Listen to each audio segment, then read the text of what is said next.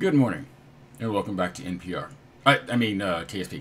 Um, so I collected some more science, and uh, basically, as you see, I'm going through the skill tree right now, collecting other uh, experiments. Um,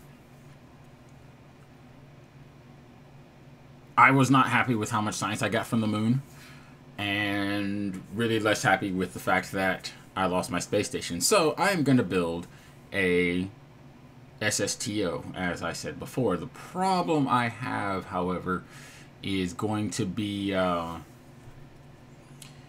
what I finally built. I can guarantee you is not going to make it into space. Why? Because I've done this already. Um, I will get it into space. It has officially become my goal. Uh, I do need. I did realize I need to change the interior a little bit. Um, I've got a lot of unnecessary things inside that, uh, like the fuel tanks, basically. Um, yeah, I tried to cut this video down as much as possible because it's really boring. Um, it's really just a lot of me faffing about trying to get this thing to take off first and then trying to get it to get into space. Uh,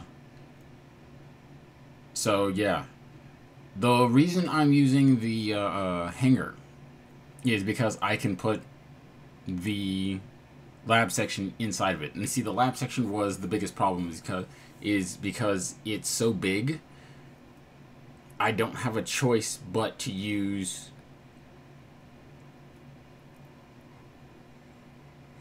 how, how do I explain it? I have to use the big one because the lab section is so big. Um, I actually really, really wish they had like a junior lab section. Maybe it didn't hold as many Kerbals. Maybe it couldn't process as much science. Or maybe it just took longer to do everything. Uh, that would have been great, but they don't. And so I'm forced to use big parts. Um, so I don't have a choice. I've got to get this thing into space if I want to um, use it. Because I need the lab section for when I land on other planets to process the science and all that so that way I can reuse everything. Um, there's a lot on this thing that still needs work. Uh, most notably, I don't like the way it looks. Frankly, I just I, I really don't like the way it looks. Uh,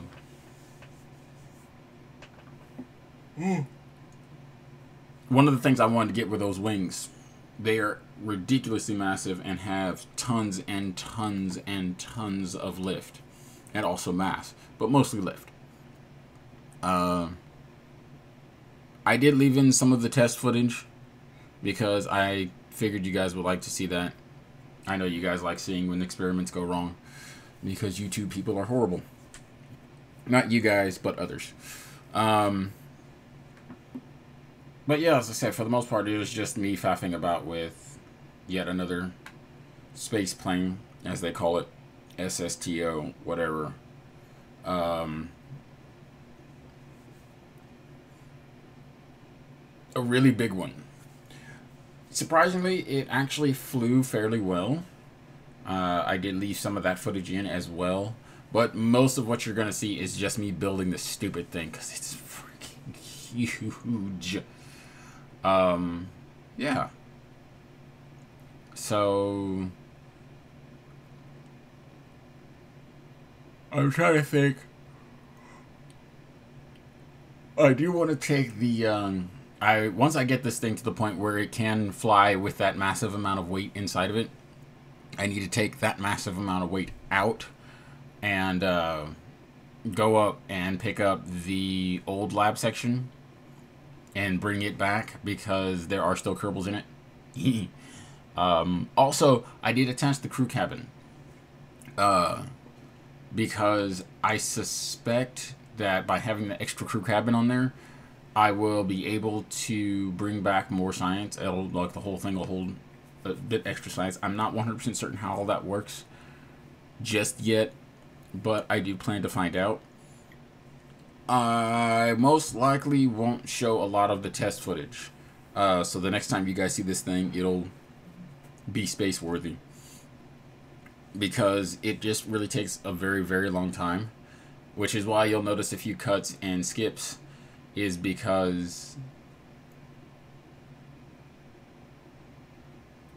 flying takes forever, uh, especially in KSP, because you spend 90% of your time going straight and you don't actually have to be at the keyboard. I mean, I'm not going to lie to you.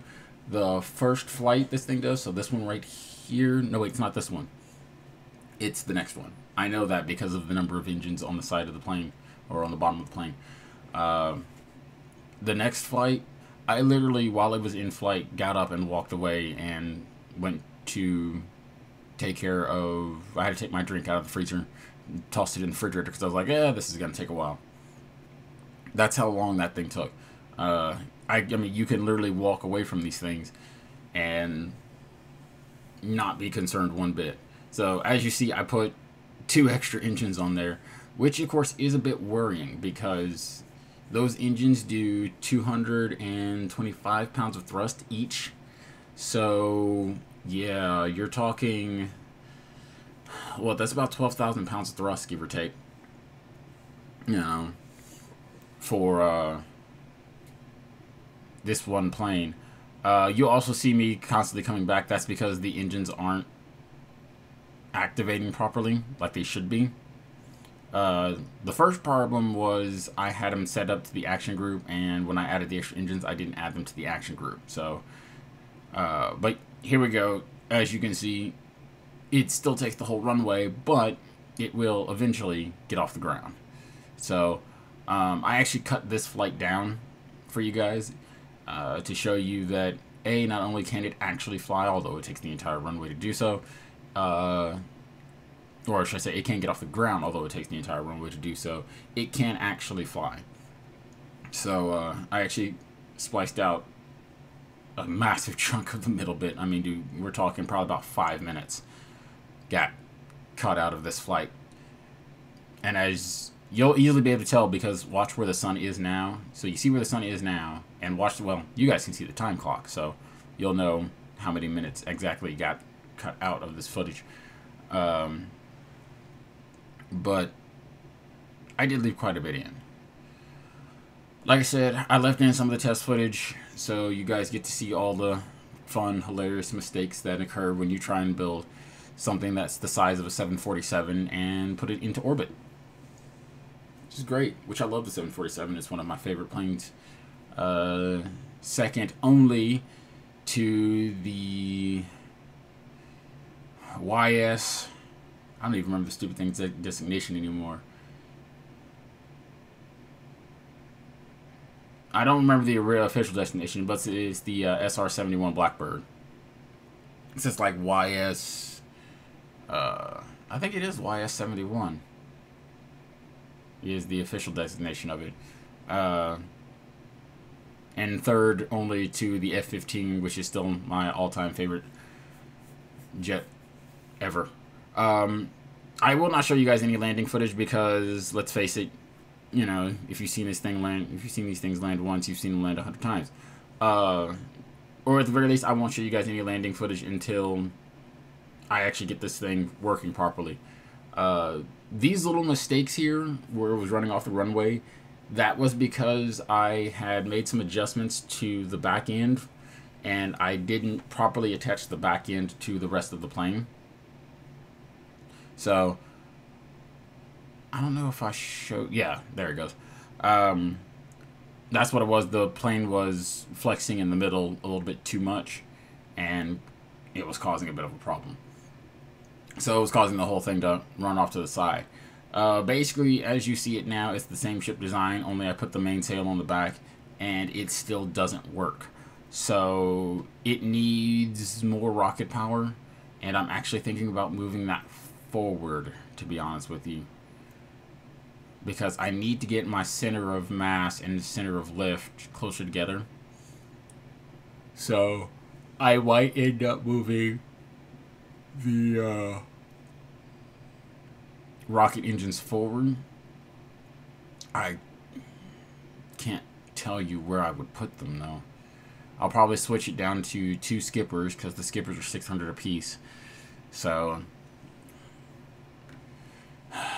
I don't know. We're just to have to play this thing by ear. I mean, I could put them where the tail fin is. Put on two tanks there and... Man, that's so much extra fuel though. But I will be knocking out the fuel in the middle.